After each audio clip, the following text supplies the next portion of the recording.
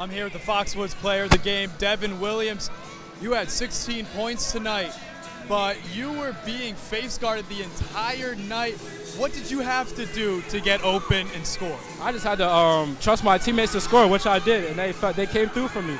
Um, Coach Kareem keep telling me to set screens for everybody, and some way I'm gonna get open, and that kind of happened in the second half. Big free throws down the stretch, stressful, I know. But what were you thinking? To taking some deep breaths. What was the mindset when you had to hit those free throws? Uh, it's either win or go home. Those are big free throws. I missed four before that. And I was like, hey, it don't matter. I gotta knock those down. And you knocked them down, and you're going to Mohegan Sun to play the winner of this next game for the ECC Division One championship. You excited? Yeah, I'm excited. Um, yeah, it's just gonna be a good game, whoever we play. Awesome. Congratulations, Devan.